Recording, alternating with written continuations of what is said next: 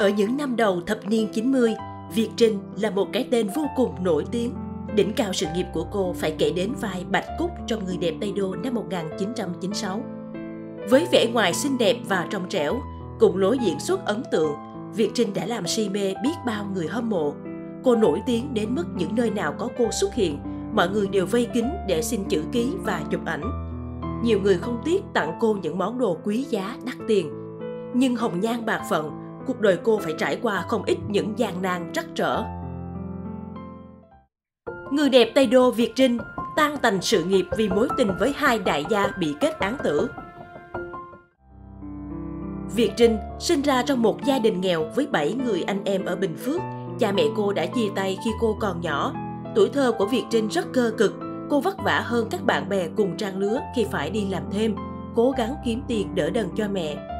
Năm 10 tuổi, có lần cô trốn học theo các bạn trong xóm đi gặt đậu phòng thuê.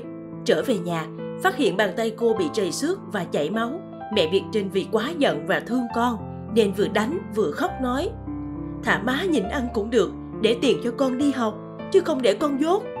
Từ đó, cô quyết tâm học thật giỏi và thi đậu vào trường Đại học Sân khấu Điện ảnh Việt Nam tại thành phố Hồ Chí Minh.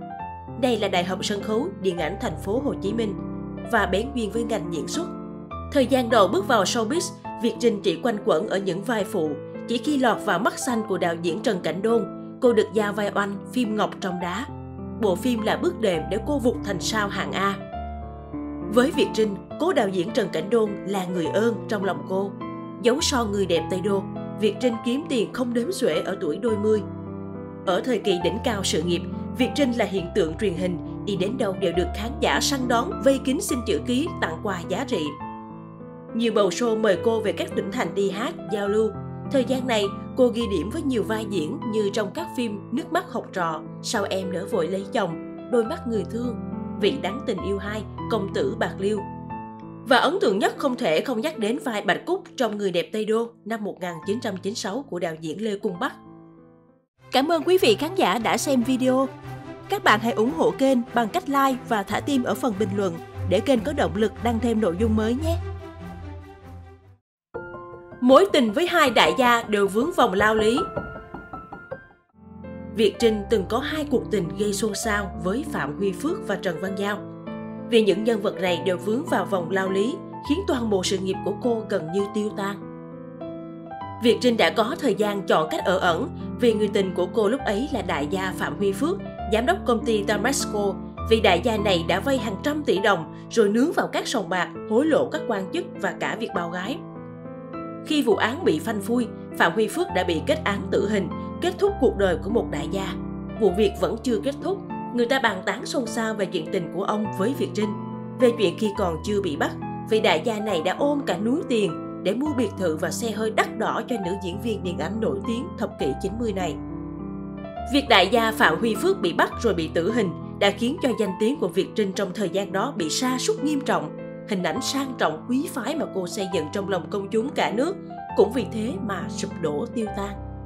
Có người nói, thường khi có một đại gia vào tù, lúc nào cũng có một bóng hồng nào đó được nhắc tên.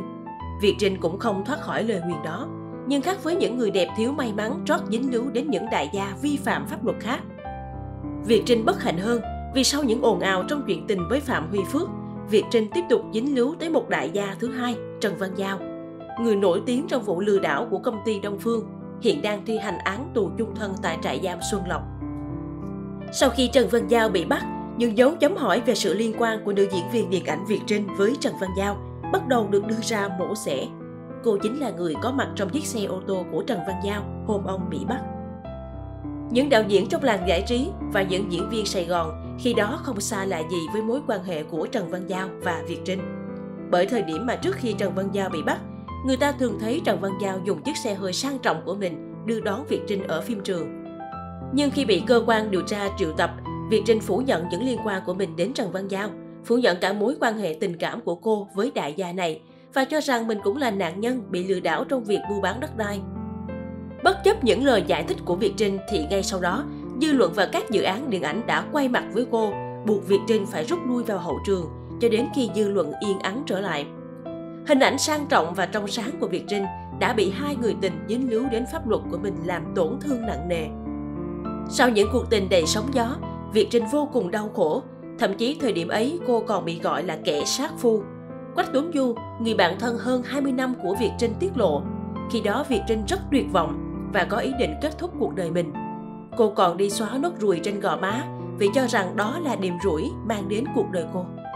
Sau này Việt Trinh trở nên cẩn trọng hơn trong chuyện tình cảm, đến mức khi cô kết hôn và sinh con cũng không ai hay biết.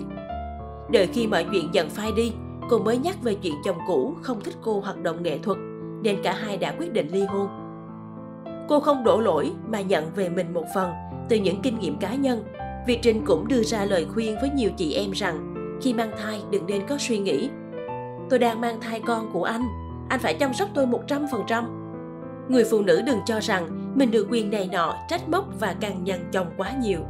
Bởi người đàn ông cũng có lúc mỏi mệt, không tránh khỏi lúc họ chăm sóc mình cẩn thận, lúc thì hời hợt. Làm mẹ đơn thân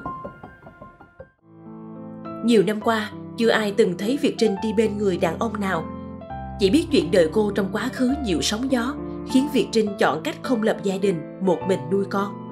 Việt Trinh từng tâm sự, có một số người từng ngỏ ý làm bờ vai chia sẻ vui buồn cùng cô, nhưng người đẹp Tây Đô ngại tiến tới vì vết thương quá lớn vẫn còn trong ký ức.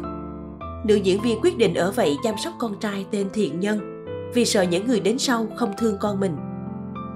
Cô từng tâm sự, cuộc đời của tôi hiện tại là khoảng thời gian êm đềm nhất, giống như một dòng sông đã qua đoạn chảy xiết và bây giờ đến đoạn thanh bình.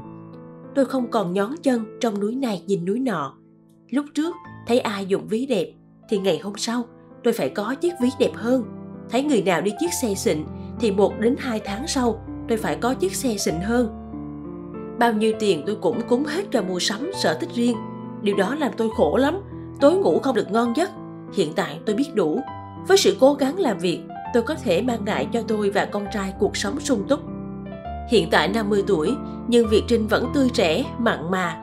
Cô sống cùng con trai trong một căn biệt thự ở Bình Dương tự tay trồng rau và ăn chay trường, chăm chỉ làm việc thiện giúp người.